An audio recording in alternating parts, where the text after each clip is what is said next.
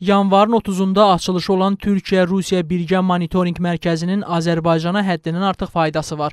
Türkiyəli rəsmilərin bildirdiyi kimi, Birgə Monitorinq qrupunun tərkibindəki Türkiyədən olan nümayəndə heyəti ölkəmizin maraqlarının qorunmasına xidmət edəcək. Bunu reala açıqlamasında hərbi ekspert Şair Ramaldanov bildirdi. Azərbaycan Respublika Prezidenti cənab İlham Əliyevin uzaq görənliyi və müdrik siyasəti nəticəsində 10 noyabrda qol çəkmiş bəyanatda məhz Azərbaycan ərazisində Türkiyənin iştirakı ilə monitorinq qrupu yaradılması ilə bağlı qərar qəbul edilmişdir.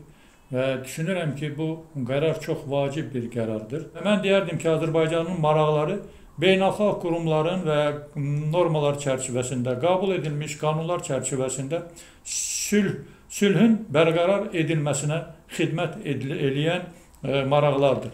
Ona görə də əlbəttə bu monitorinqin e, hər gün işlədikdə düşünürəm ki, artıq bu məsələlər beynəlxalq normalar çərçivəsində həll ediləcək və Rusiya sülhməramlı qüvvələri də nəzarət altında olaraq artıq e, neytral şəkildə, obyektiv şəkildə bu məsələlərə yanaşmağa məcbur olunacaq.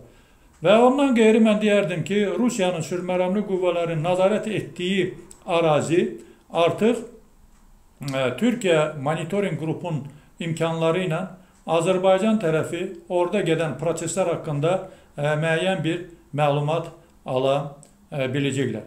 Və bunlar kompleks şəkildə ümumiyyətlə ə, sülhün bərqərar edilməsinə xidmət edəcək amillərdir.